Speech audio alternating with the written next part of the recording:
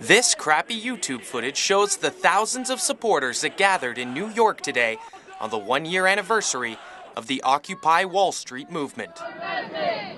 Searching through the Kelowna events, I found out we too were having an event today, and I thought I would check out the chaos. This time last year, more than 120 people filled Kerry Park to show their support.